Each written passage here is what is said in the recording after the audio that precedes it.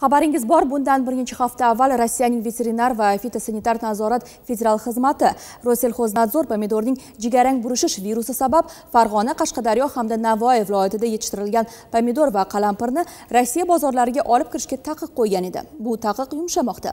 2021 yil 1 yanvardan 34 ta tadbirkorlik subyektiga rossiya federatsiyasiga pomidor yetkazib berishga ruxsat berildi. Ammo ruxsat faqatgina Э, o'zbekiston respublikasi vazirlar mahkamasi huzuridagi o'simliklar karantini davlat inspeksiyasi kafolati ostida beriladi. Vazirlar mahkamasi huzuridagi o'simliklar karantini davlat inspeksiyasida eksport va import qiluvchi korxonalar vakillari ishtirokida o'tkazilgan uchrashuvda ham karantin obyektlari bilan bog'liq masalalar xususida so'z bordi. Uchrashuvda tadbirkorlarga karantin ostidagi mahsulotlar xususan ekish materiallarini o'zbekistonga olib kirishda belgilangan fitosanitariya qoidalariga rioya etilishi lozimligi bo'yicha kerakli tavsiyalar berildi.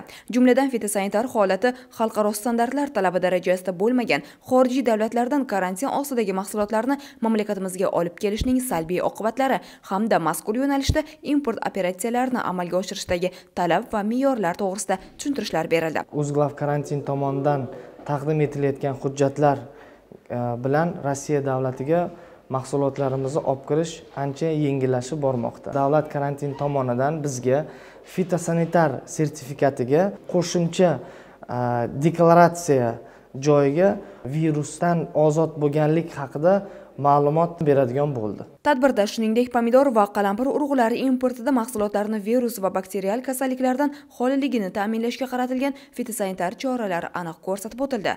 Tadbirkorlik subyektlari vakillariga mamlakatimizda davlat xususiy sheriklik shartlari asosida urug'chilik klasterlari shu jumladan kichik urug'chilik kompaniyalarini tashkil etishga doir takliflar berildi. O'z o'rnida tadbirkorlar inspeksiya tomonidan karantin ostidagi mahsulotlar importiga ruxsat etuvchi hujjatlarning rasmiylashtiriv jarayonidagi afzalliklarni yuqori baholashdi. Muloqot davomida mazkur yo'nalishda tadbirkorlik faoliyatidagi qator muammolar o'rganildi.